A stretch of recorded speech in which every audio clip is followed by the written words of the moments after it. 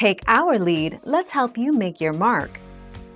Our goal is your satisfaction. Let us show you the way.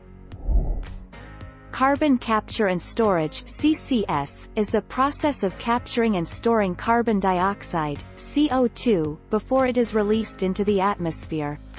The technology can capture up to 90% of CO2 released by burning fossil fuels in electricity generation and industrial processes such as cement production.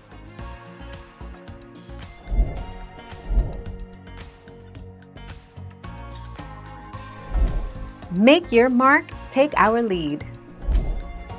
Carbon capture and sequestration storage CCS, is the process of capturing carbon dioxide carbon dioxide, formed during power generation and industrial processes and storing it so that it is not emitted into the atmosphere.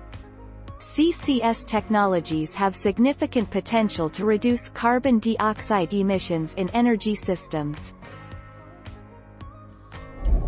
Thank you for watching. Please subscribe and hit the bell notification.